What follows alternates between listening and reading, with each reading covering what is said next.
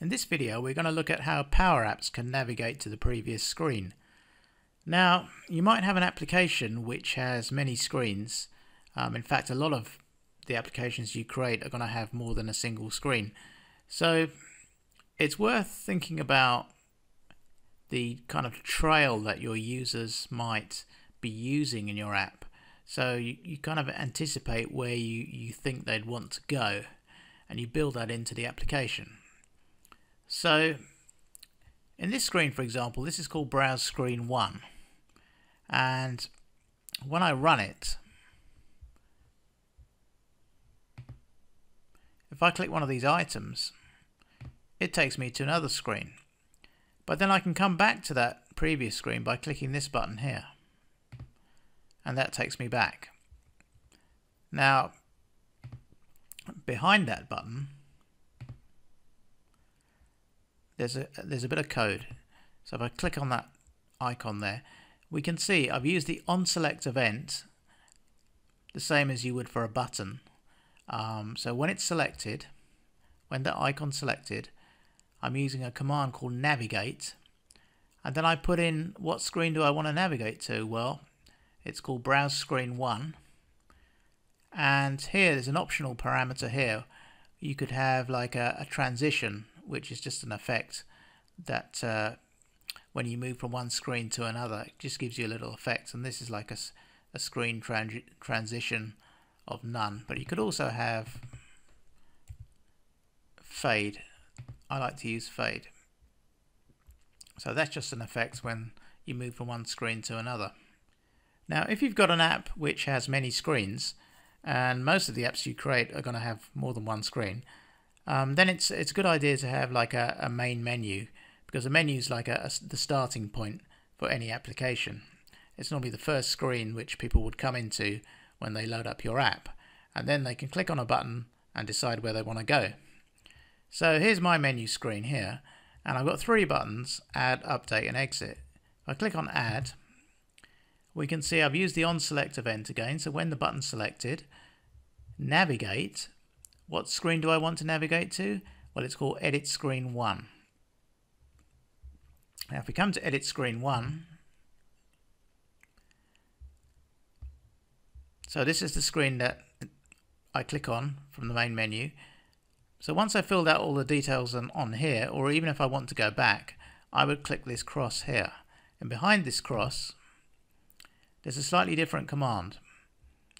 And this time I'm not using navigate, I'm using a command called back.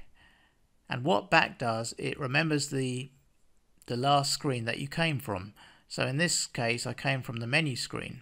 So back is going to take me back to the last screen that I was on. So we can try that out. So I click on add. It takes me to that screen. And at this point the back is going to kick in when I click this cross and it takes me back to the main menu. So instead of using navigate you can also use back. Here's something else you can do.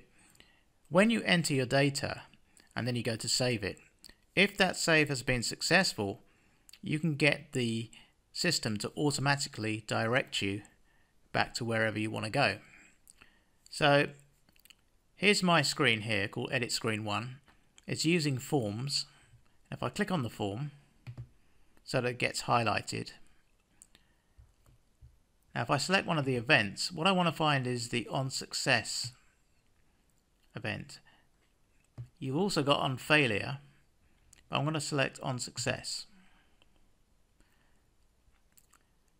So here, if it succeeds, if the record succeeds and it's saved, then there's a command in here called back and that's going to take me back to the main menu. I could also put navigate in there with the name of the menu that I want to navigate to. So let's just try that out. So come in here. I'm just going to add something at the top.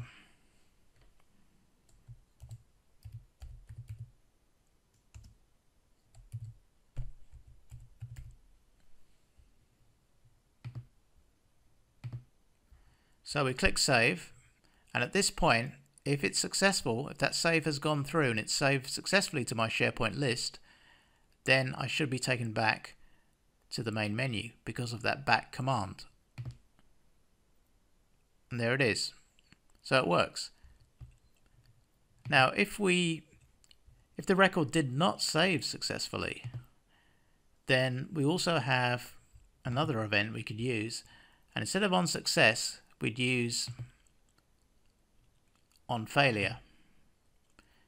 So if it didn't save the record, then the best thing to do here would be to display a message of some kind. So we would use the notify command.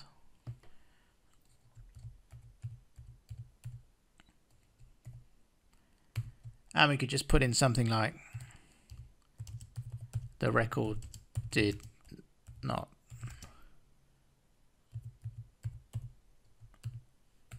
Something like that.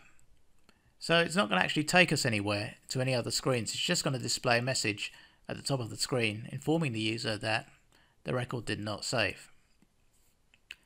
So as you can see, just by using the navigate and the back command, Power Apps makes it very easy to go back and forth and navigate between your screens.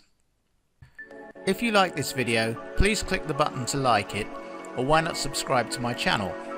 Or you can even download my free Power Apps for Newbies book at www.powerappsfornewbies.com.